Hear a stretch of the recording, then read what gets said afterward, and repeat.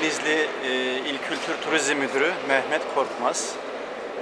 E, bugün burada dördüncüsünü gerçekleştirdiğimiz, gerçekleştirilen daha doğrusu e, Uluslararası İzmir Travel Türkiye Turizm Fuarı'nı e, dördüncü kez e, burada e, bulunuyoruz.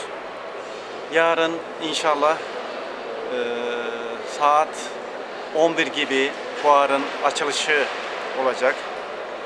Sayın Bakan e, start verecek.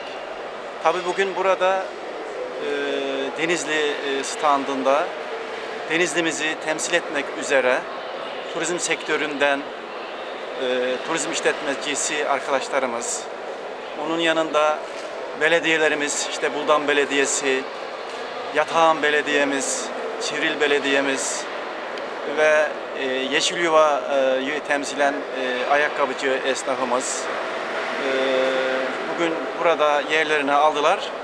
İnşallah yarın e, fuarın açılışıyla birlikte Denizli'nin adını iyi bir şekilde e, tanıtmak, duyurmak için çalışacağız.